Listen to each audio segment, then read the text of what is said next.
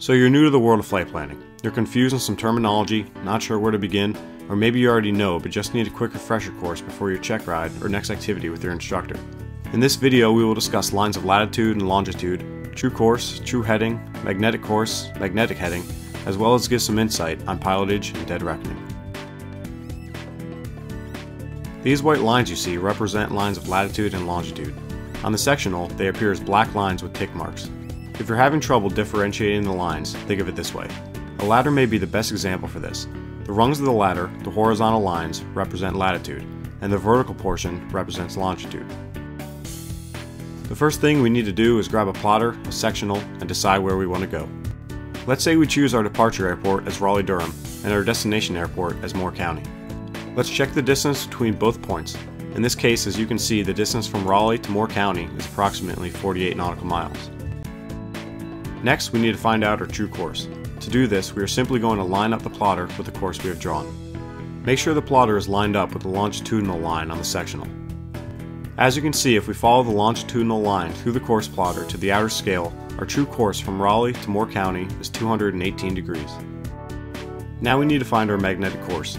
To do this, we have to either add or subtract any deviations, otherwise known as isogonic lines, from our course.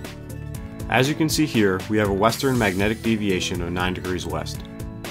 Since west is best, we add 9 degrees to our true course, which gives us a magnetic course of 227 degrees.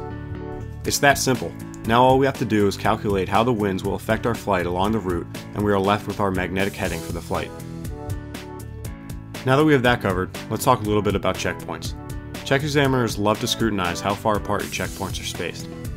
We recommend placing checkpoints anywhere from 10 to 15 nautical miles apart. For our first checkpoint, we use a lake. It's big, filled with water, and just plain hard to miss. From the lake, our next checkpoint is going to be Raleigh Exec. If you're going the right way, it shouldn't be difficult to miss an airport right in the middle of your flight path. Once we pass Exec, there aren't too many other landmarks in the area, so we're going to have to use some intersecting roads that you can see on the sectional.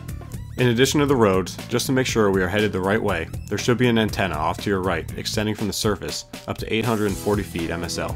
Next stop, Moore County Airport. While we're on the subject, what you just did there is called pilotage. All pilotage is, is simply picking a landmark off your sectional and then comparing that to what you see from the air. Dead reckoning, on the other hand, gets a bit more complicated. Based on computations of airspeed, heading, course, ground speed, and wind direction. In simpler terms, it's figuring out where the aircraft is in relation to where it has been.